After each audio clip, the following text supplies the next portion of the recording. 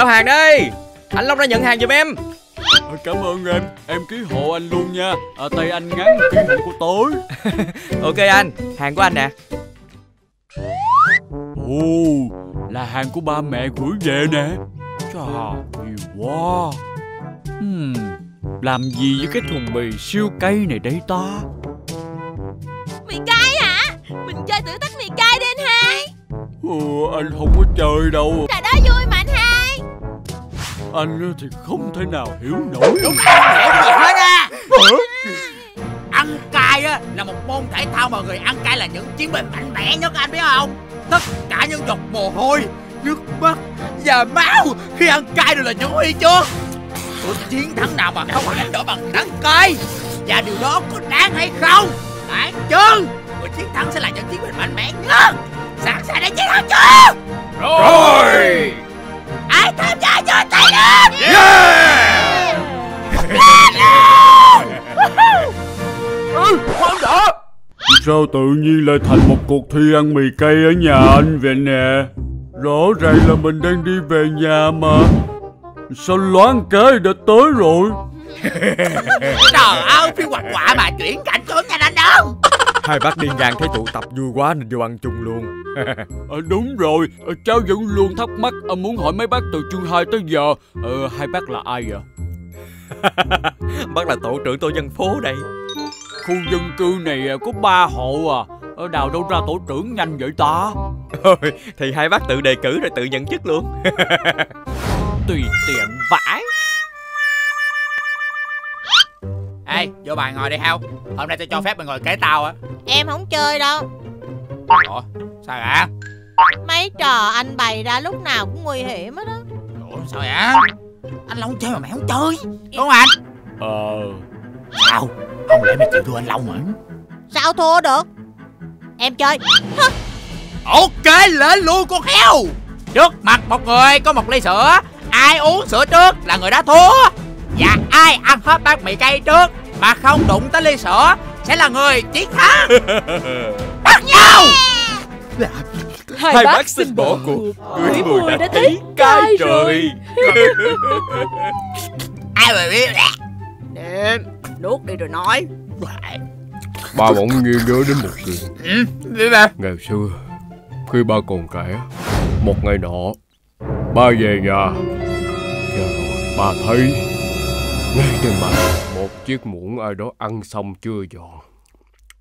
Và hình ảnh đó Là ba vô cùng cảm động.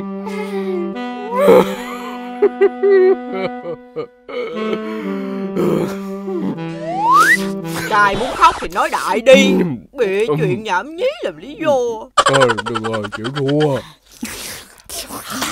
Để ba người bị loại ra Ơi trời ơi đất ơi Cay quá. Cô chịu thua nha. Người Nếu cay quá con đừng có cố làm gì nha. Con nó cay vậy mẹ. Mẹ đừng có nói với con. Con Dễ ăn được. Cay đổ mặt còn cãi nữa. Vậy mà mới ăn được cái nửa tô. À Trời đất ơi sao con khủng long kia Nó bình tĩnh dữ vậy? Đừng cố quá nha em. Dạ Ê heo Mày muốn biết, biết, biết chiến thắng không? Gì? Trai á không phải là một vị giác. Mà đúng hơn là Cái cảm giác đau cho các hợp chất đông ớt tác động đến các cơ đo thần kinh của mình á. Ớt đánh thức các thụ thể đau nhất ở dưới lưỡi. Chúng chính là nguyên do chúng ta cảm thấy nóng và bỏng lưỡi. Khi ăn cay Điều đó có nghĩa là gì? Nghĩa là chỉ cần ăn mà không đụng tới lưỡi là được. Nhìn anh nè. Anh bị điên hả? À, thử cho em coi. Nè mày nhìn tao nè. Tao nuốt luôn khỏi dài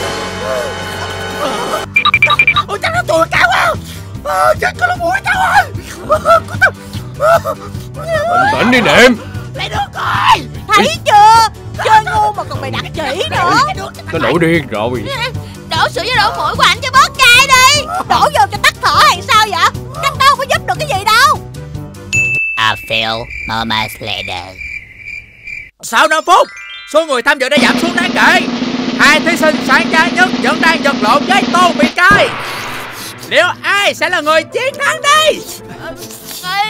Cậu có sao không?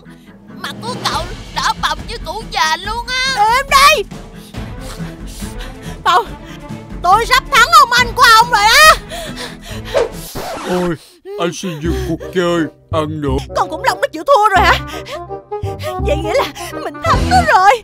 Ha, Mình thắng con khủng long đó rồi. Ủa? Con ăn thêm ớt đó hả? Ê Cái gì? Sợ mất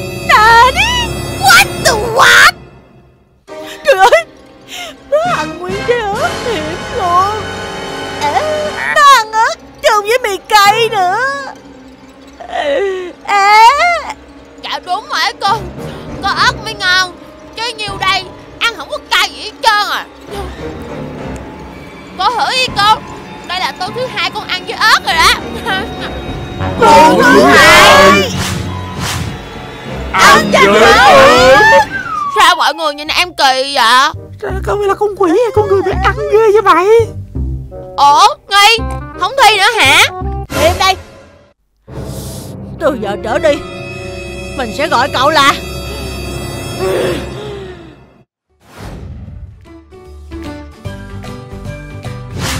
Đây mau Dạ dày sắt Còn dám trốn nữa hả?